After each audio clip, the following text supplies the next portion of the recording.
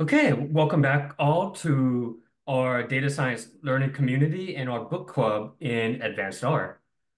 We are headed into the module about object-oriented programming, which is quite complex when you're doing this in the R programming language. What the textbook author has in store for us today is kind of an interlude and aside where we talk about the base types of R, which I found out in itself is complex as well. So for our learning objectives on the screen, you can see that we want to understand what object-oriented programming means, at least for R, and to know how to discern an object's nature and type, whether that's in base R or in the object-oriented programming.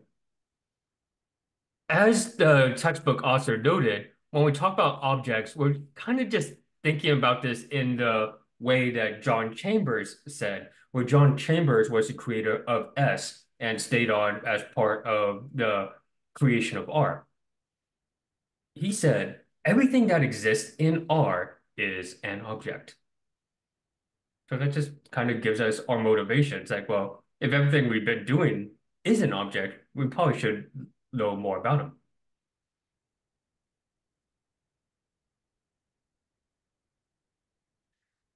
So why is object-oriented programming hard in R?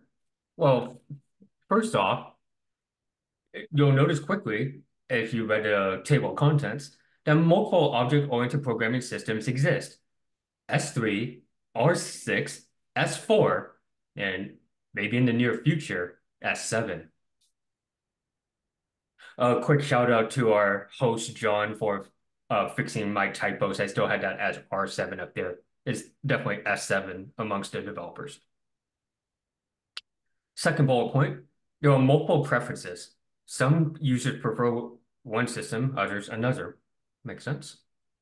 And R's object-oriented programming systems are different enough that even if you're coming into this with prior object-oriented programming experience, it might not transfer well. We'll still talk about some of the ideas, but the folks who are delivering the next few chapters will definitely help us see all the subtle differences. Now, whenever you talk about these materials, such as Hadley Wickham's uh, RStudioConf talk a couple years back, people quickly go back to this XKCD comic.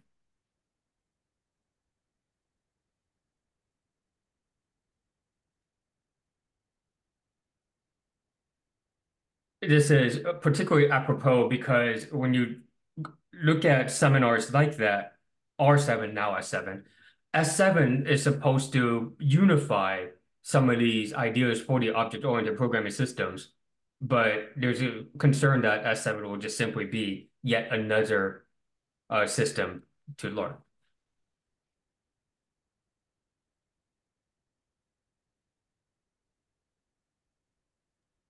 Do we know is is S still under a development?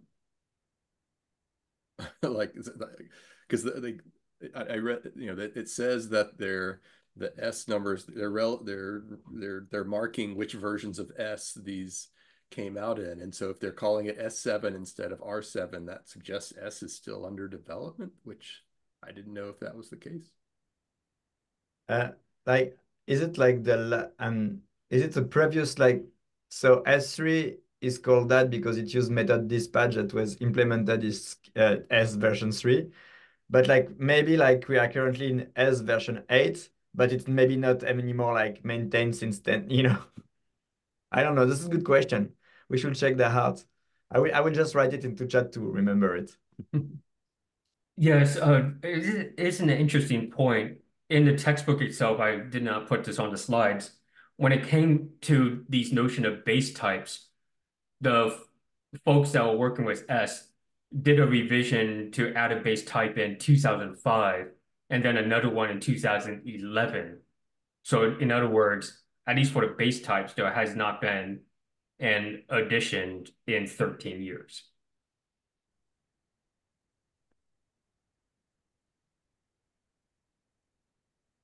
I also have a question. Do do we know if other uh, languages have multiple object-oriented programming systems? Because like I don't know, if there are like many in in Python and and JavaScript. Just like they're just objects and, and and that's it, like objects and classes. I I didn't know that. Uh, well, I I don't know if they have like many systems like R. Uh, like I think Java is well known to be like the object oriented. it's nearly built only around that. So uh, if you are like a Java developer, you probably mostly do OOP, I think. But yes, I agree with Diana. Yeah, but like when you're a Python programmer, you're pretty much taught only one way to do it. Yeah, are you multiple way of doing it? Yes, yes, like the multiple systems. Because well, like I, I guess we're, we're gonna find out what because I, I honestly I, I don't know what are the the differences between S3 and, and R6. I guess we're gonna find out in the next uh in the next weeks. Mean, but yes.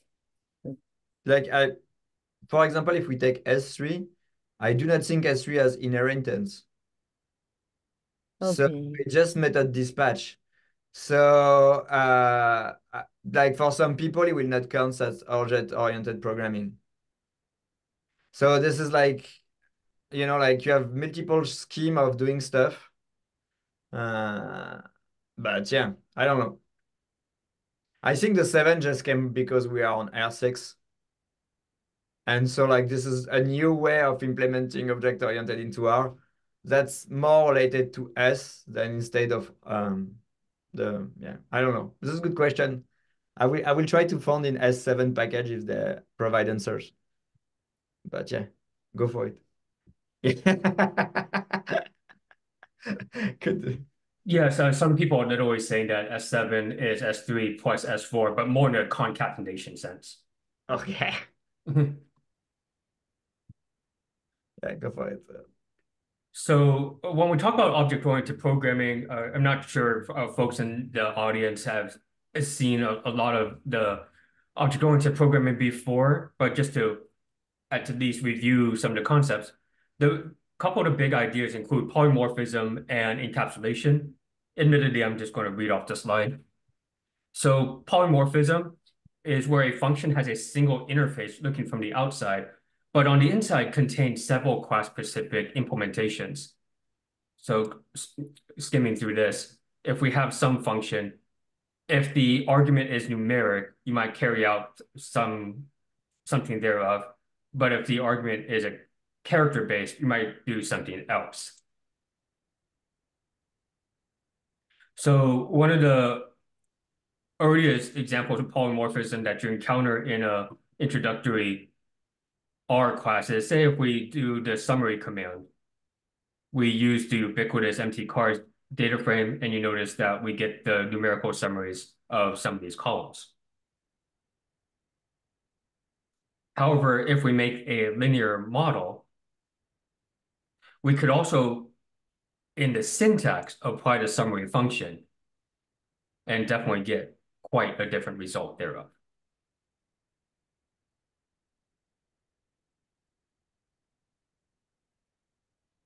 As uh, uh, folks pointed out in a recent keynote in UseR 2024, uh, part of this is that if you actually go into the code for summary or the manual pages, you'll see the the breakdown of how it starts to branch off to handle these different types of inputs.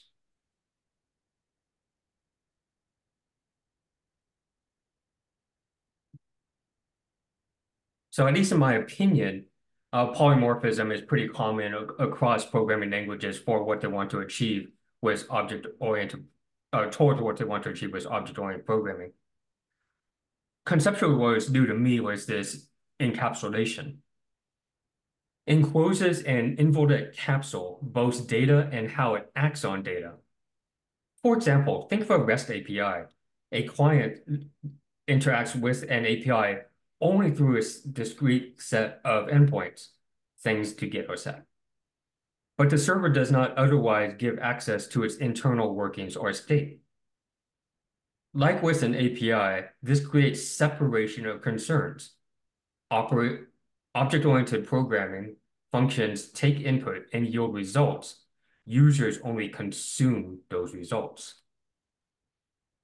So what we're going to see in the upcoming slides is that's part of why some folks wanted one version of, I'll start calling it OOP, one version of OOP versus another version of OOP, and is uh, what they wanted with this encapsulation.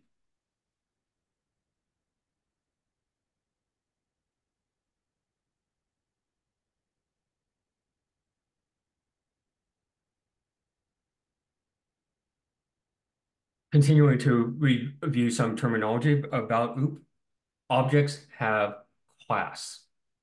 So a class defines methods, what can be done with an object, and fields, data that defines an instance of the class. And objects are an instance of a class.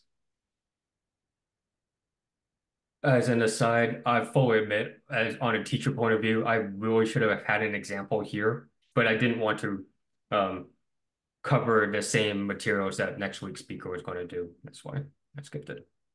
If this is your first time talk about object-oriented programming, I assure you it will become more clear next week.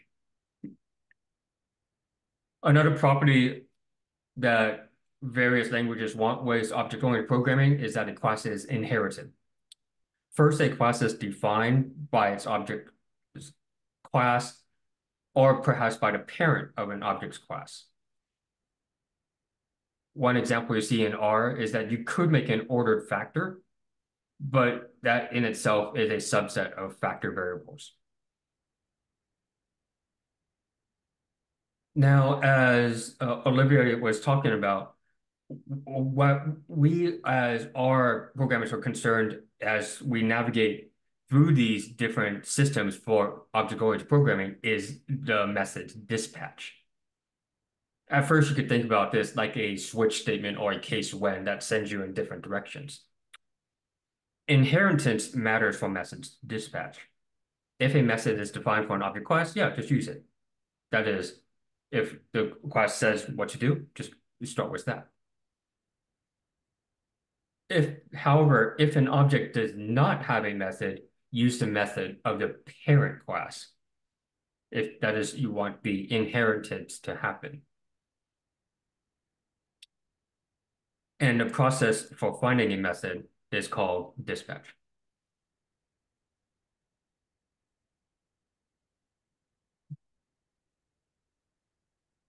Now, this reminds me of some about what we've been talking about with variables and environment searching.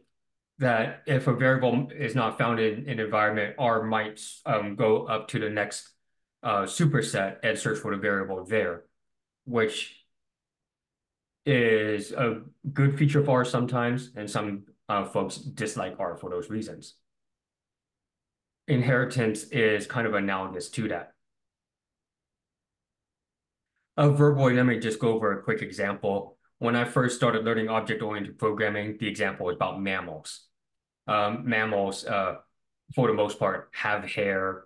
Uh, they they they breathe um, air if you make a a a subclass like cat or dog, you could say the cat meows, the dog uh, barks, but they also inherit the the mammal characteristics, have hair, breathe air, and so forth.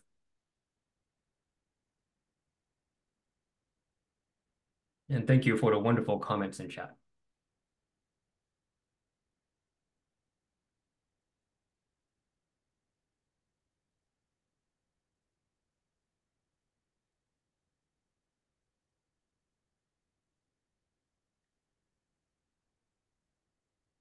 Okay, so now let's see how this plays out in R. There are a couple of paradigms. You can have the encapsulated OOP, objects encapsulate, methods, what can be done, fields, data on which things are done. The calls communicate uh, this encapsulation uh, since form follows function. And the idea, I believe, is that we have function calls just like elsewhere in elementary R. we for an object, we can apply a method with the arguments. Oh, I might have switched the wording there. For functional methods belong to generic functions. From the outside, this is what looks like what we encounter elsewhere in early studies of R. You have your object, you, you follow it up with the arguments. And then we're careful that from the inside, components are also functions. This is why we spent the previous three weeks talking about functional programming. Now, before I get to the next really wordy slide, I took a moment to just make myself a concept map. And this is how it starts to branch off. The creators of R wanted some object-oriented programming. There are a couple of trains of thought. So with the encapsulated OOP, you have R6 and something perhaps less popular called RC. And then you have the functional OOP, which is S3, which is what we're at the moment the most familiar with in S4. I, I assume we'll see examples of the encapsulated OOP when we talk about R6, but is there like, can somebody say an ex like summary seems like a great example of functional OOP, right? Mm -hmm. Is there an example, a quick example that's really commonly used for, for encapsulated? I myself do not have an answer. Anybody else? Yeah, for it's for everybody. Yeah, yeah. I have like basically like when you use an RCS object, it will look like um I, I do not have like an example of RC stuff, but usually we define an object that has a, a very limited amount of method and you call this method with dollar sign. So let's say like I'm define I'm calling an API and the API has a certain numbers of uh, functionality. One of them usually will be get so let's say like I'm working with um, my puppy API that just return a, a, a, bunch of photo of puppies. And um, uh, one of the implementation I have seen, you could have do that with functional oriented. Like is usually like like a, my object is gonna be my puppies, and then I will have a dollar sign get. That's exactly like when you what kind of similar you do I feel in Python when you are chaining methods uh, inside. That's my understanding, but I never like used, I, I'm mostly used, I never implement an R6 uh, package, so I don't know R6 package, but this is how I, I will think about it. Uh, I will try to find an example while, while uh, Derek uh, go a bit. Hmm. Yes, thank you.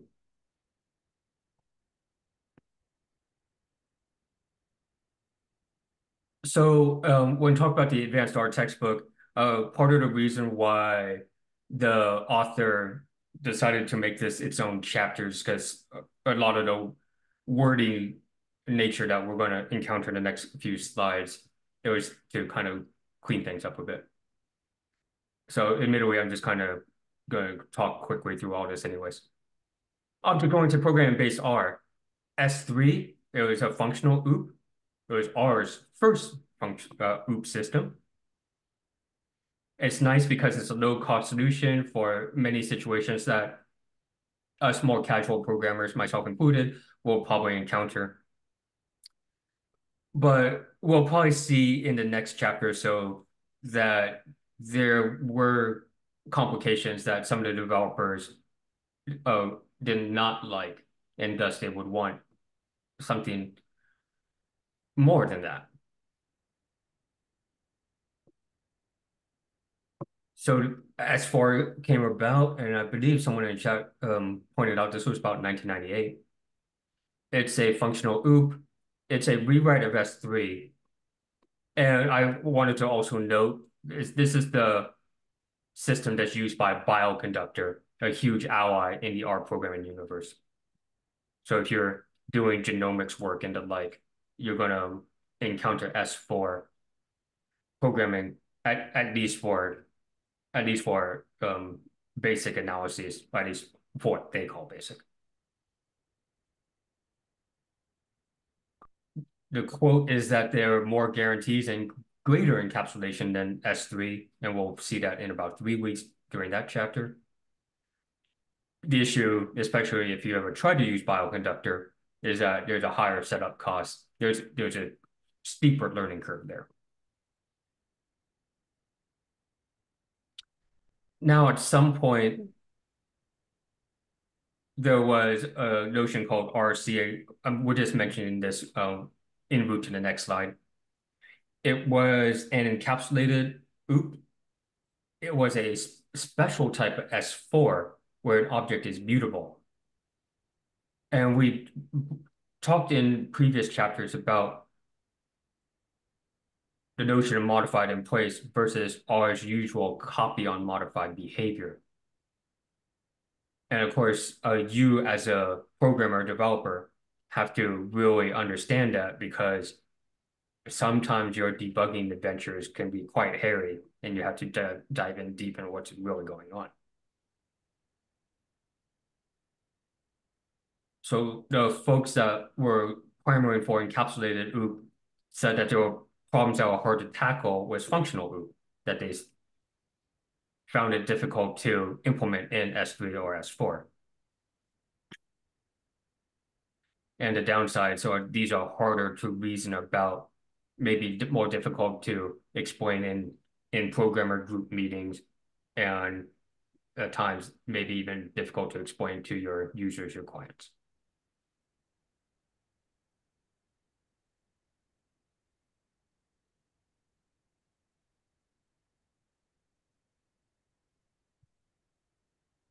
Oh, and these ones, S3, S4, RC, they come in base R. They they come when you install R. Hmm. In packages, you could expand to the R6, which we'll see in a couple weeks. This is the encapsulated OOP that several programmers wanted. And the idea is to resolve issues that in the previous RC. And in the perhaps near future, we'll have S7. I should fix this typo. This is S7. It is a functional OOP, but what the developers at Posit and, and elsewhere are aiming for is to, in their claims, grab the best parts of S3 and S4, that is the ease of S3, the power of S4, and you could see more at the seminars that we mentioned earlier in the video.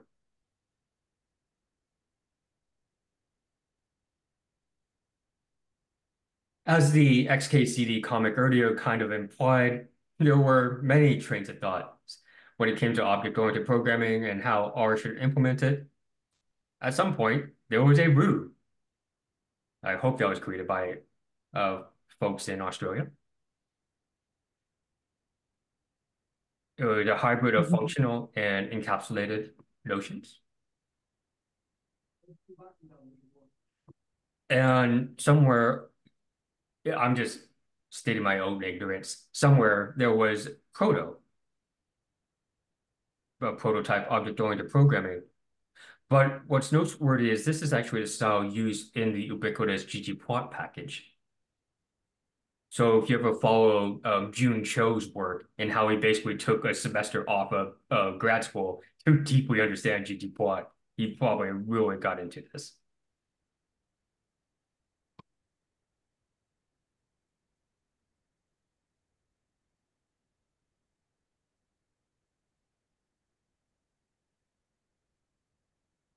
Are there any questions or discussion about these matters so far?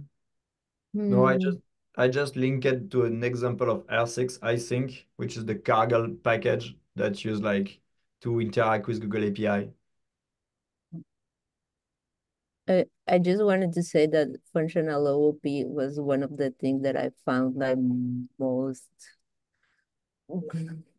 difficult to grasp about R when I when I first started programming in R because I was like, how can they allow dots on variables like if, if you're gonna have to use dots for objects and method calculation i was like how, how am I gonna do object oriented? And then and and yeah, like the S4 with with bioconductor, it's I I I honestly I, I don't like it because you have to pass the object every time to the function so that you can like make internal uh, it has internal changes to the same object and uh, it still it still feels weird.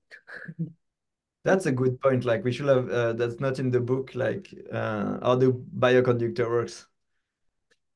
Yeah yeah, maybe, yeah, maybe, maybe, maybe we should add uh, a chapter about bioconductor. But I'm, I'm, I guess we're gonna review that also in in S4. But mm -hmm. yeah, like you have you have the the the object, and you can access some some parts uh, of well, so, some some internal uh, things of the of the object with the with the dollar sign or the the arrobas but you have to, like, if you want to make changes to that object using some other functions, you have to pass the object as a first argument of, of that function. So yeah, that feels a bit weird. I agree with these ideas. At, at, at least for, for me, I definitely use underscores instead of dots in my variable names, just in case I want to go back to Python or whatnot. Yeah. Uh, also part of Kelly Bodwin's uh, keynote talk at useR 2024 uh, uh, pointed out that in her talk, uh, keep R weird. One of the reasons R does some of these things is so that we don't have to use quotation marks on variable names. I thought that was actually pretty nice. And as a teacher, I really like that. And same thing with column names as well at times.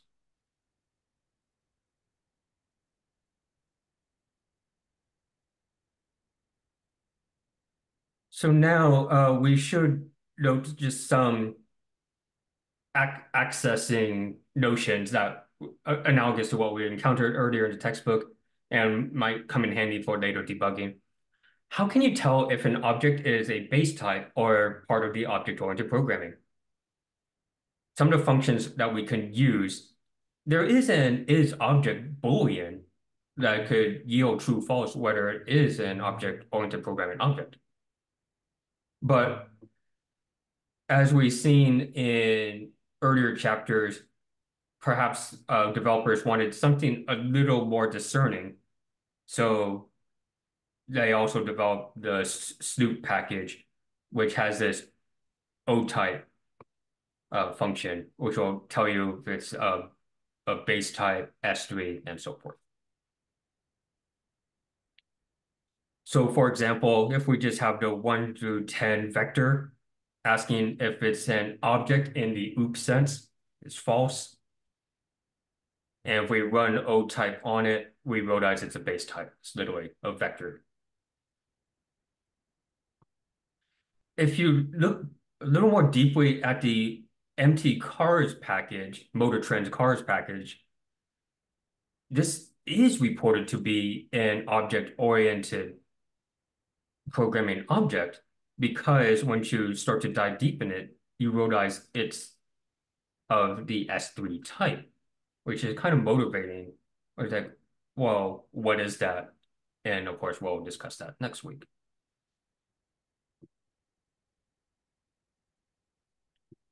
Now, uh, folks like me only heard the word sloop in one place, so this sent me down a bit of a rabbit hole. I was trying to uh, figure out why that was the name of this package because I only heard about it from the Beach Boys song. And fortunately, I asked a, a fellow programmer, someone who's not an old programmer, uh, programmer, why is that the name? They pointed out to me the obvious. The package writer wanted this to have OOP in there. so it was a bit silly. And then once you go into the package documentation, it is indeed sloop for S language object oriented programming. So it's nice that that all worked out well for Hadley. Also, just continuing going down the rabbit hole, um, Sloop John B, the Beach Boys song, it turns out in itself is an adaptation to more classical folk music from the Bahamas. So it's good to know.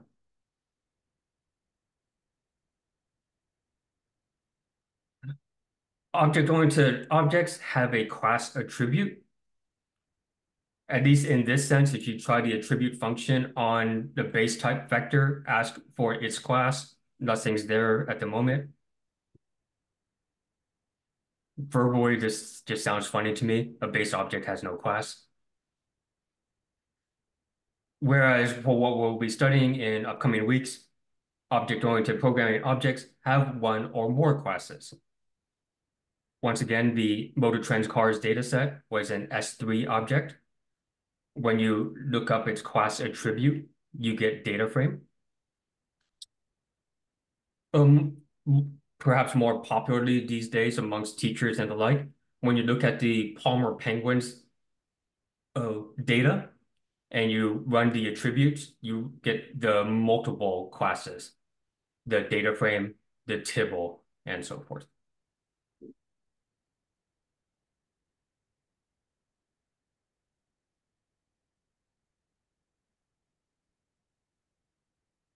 For this slide, it's a long list of words. Um, if folks have questions, um, we'll, we'll have plenty of time, but I'm just going to read through this pretty quickly.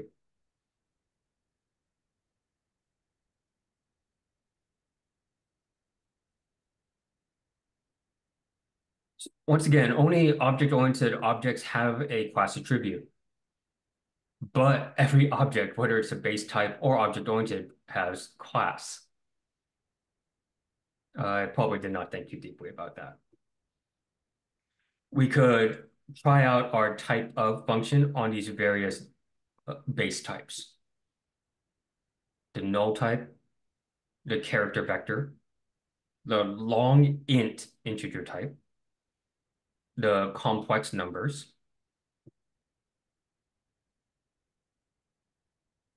user-defined functions. We encounter our favorite word, closures. Uh, there are special functions such as the array accessor close bracket. And there are primitive functions that are built in that date back to the early days of R and S. We did spend time talking about environments. So that is a base type as well. And what we'll be moving towards in one direction is the S4 type that is, is available as a base type. In this example from the textbook, the stats4 package does come included in your R installation. For example, for the statisticians, if you're seeking out maximum likelihood estimation, you could do these calculations this way. The returned object is of S4 type. And as we were discussing earlier, one of the popular examples these days is bioconductor and all they, that they do. Towards the end of the textbook, we'll go even deeper on the language components and learn more about what quotations do for symbols, languages, and maybe even something called pair.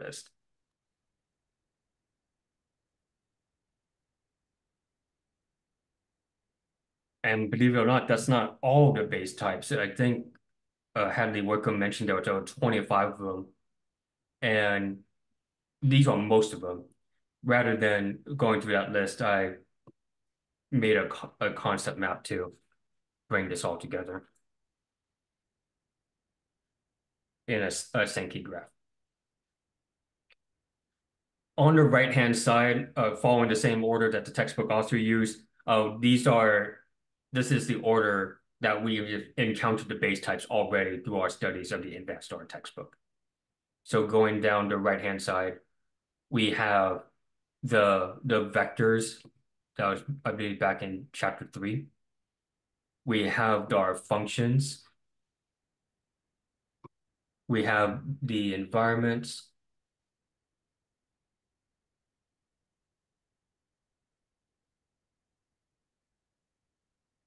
And we are here right now going into S3, R6, S4 in the coming weeks. And then the rest of the textbook will cover these base types here. As you mentioned in the chat, there are other base types that are meant for the truly deep diving developers that are wondering about C components and maybe memory allocation as well. Uh, but depending on how deep you go, I believe the textbook author said to not worry about that.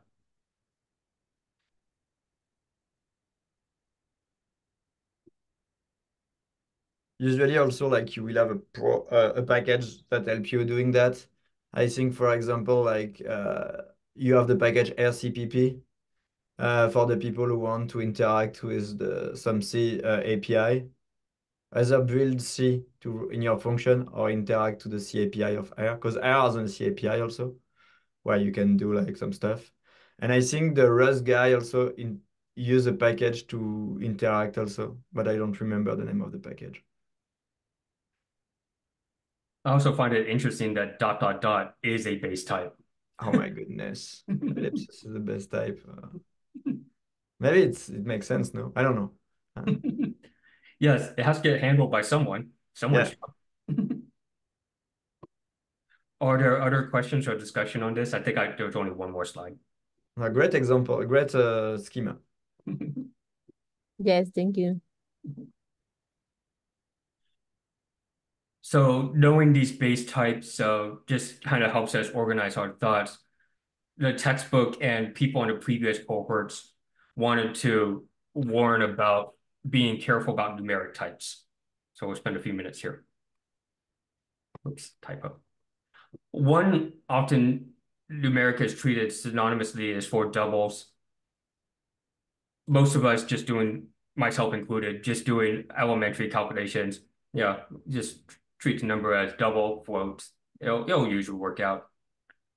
Every once in a while, you'll notice that at least when you're making, say, arrays and talk about the length of a, a vector or an array, you'll have the long int integer type. So in the first example, we could see that it's a double. The second example, we could see that it's an integer. Where this gets annoying is that if you check the type after you apply as numeric, perhaps you're loading a data frame, you want to make sure you could do basic sample statistics on columns, you typecast this as numeric, and both of them now come up as double. So yeah, that could be annoying. Yeah, because numeric is work for both, no integers and double. It's it tests for both of it, no? Mm -hmm. And so the most generic case is double?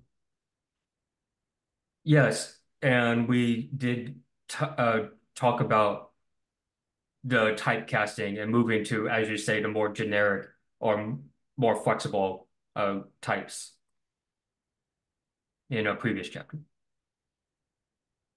Uh, there are typecasting functions such as as integer as such.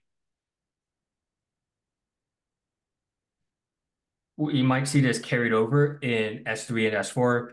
Numeric is taken as either integer or double. So when choosing methods, when we check if there is a S3, uh, if this is an S3 class, or I'm not quite saying that right, it returns both double and numeric, so a bit more verbose. And we look at that long int integer, uh, this accession is both integer and numeric.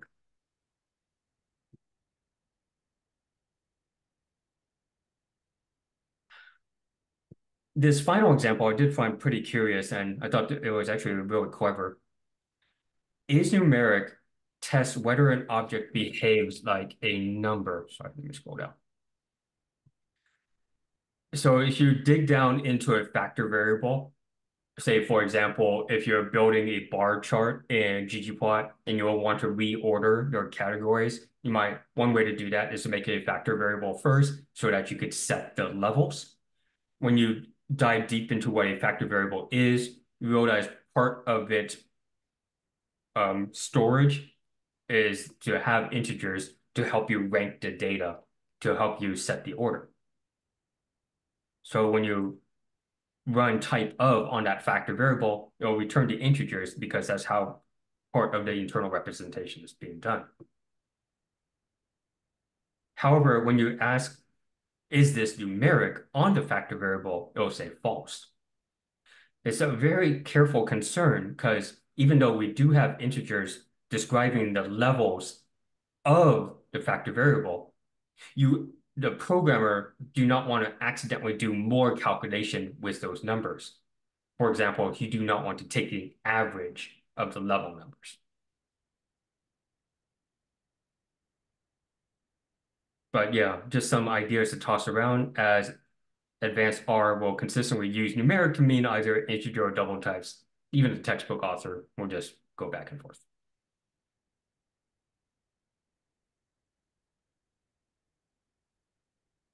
And that, folks, is the end of the slide session. Uh, thank you for watching. And what else do we have to talk about? Yeah, I was just curious, like, is numeric on factor give false? Is it because like it gonna check the class and dispatch to another method on is numeric? Uh, do you want to share screen? Could you export it? I, I like, yeah, I can share, um, we can just discuss that. But my question, like, uh, is like, is numeric is a generic method? And maybe when it targets a class of factors, in fact, you are calling is numeric factors that return the exact stuff. I don't know. Or is it inside of is numeric that's coded like why it's not numeric? I don't know.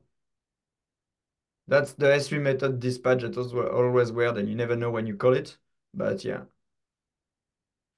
And yeah, I just noticed, I just went into read like the what's in behind like as numeric. And if you are writing um, inside of for S3 method, you should specify for as double. So uh, like I could definitely see myself like uh, making the mistake unless I read the doc uh, before. Just just just read yeah because yeah it, plenty of um and why does is integer tip of because you are asking what the type of is right but the but the type of like is is integer right like you can see that in the example yeah but it's inte integer is a character type it's just integer. I think you are. Yeah, so oh, oh, oh, yeah, so uh, type of re Ah, returns the word, Yeah. the character yeah, it's integer. The command the trick. It's the output, not the actual Yeah. type. Got it, Yeah. got it, got it. I was trying to get the the type of, of dot dot dot, but I cannot make it work like that. That that returns an error. Uh, if you backstick it, No? Okay. okay. Well, this is this is maybe for like next time. Well, thanks, Derek. It was very good, and uh, I'm glad we have done it. Um, yeah, because yeah, how can he type of maybe take ellipsis as an argument, no, or not? I don't know. He can like, uh, I don't know. This is a good question. We can add that for like the um, the the Slack. Yes. I'll Does prepare it. others have question or Maybe it's a cautionary tale. Do not even dive into the C programming. Caution to all ye that venture here. no? And then like all does the that that's I think this is at the um, language level. You know, uh, ellipsis is uh, a language. I, I will I, I don't know. I'm not a language designer, but I will think of it as a language um, uh, token. It's a token, specific token from the language. Yeah. So, Yes. but I don't know it's defined. Anyway, uh, thanks a lot. Um, I, I'm gonna type end so we not forget it. It was very good, the Derek. Uh, I think a lot of it will be like learn into S3. I, I, I really like S3 because it's super easy to implement. So come next week. Thank you. Thank you so much, Hi everyone. Thank Bye. you. Bye.